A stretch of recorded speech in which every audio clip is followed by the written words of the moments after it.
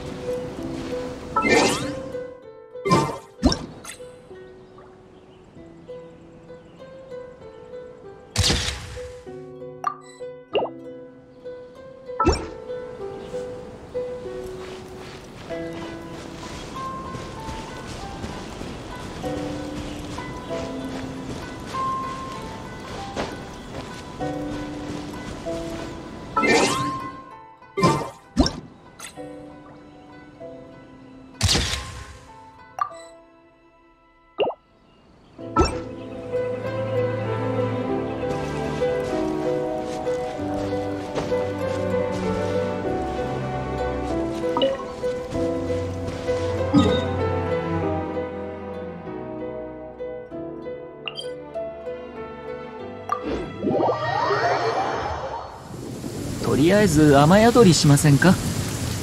ご安心を。傘ならすぐ届きますから。ほっ。まだ幼い頃綾香は雷に怯えていました。そんなあの子に雷鳴とは将軍様のお声なのだと母上が教えたのです。それ以来あの子は雷が鳴るたびに一心に耳を傾けるようになりました。まるで将軍様のお言葉を理解しようとするかのように。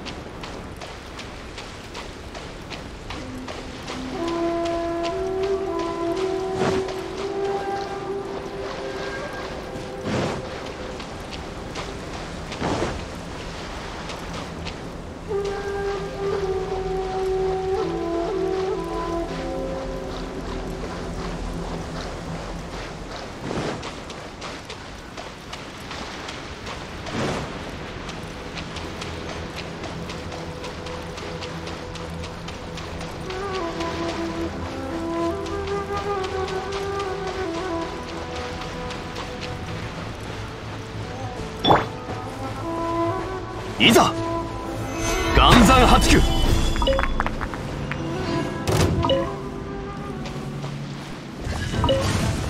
取るに足らないわはっ降参しなさい。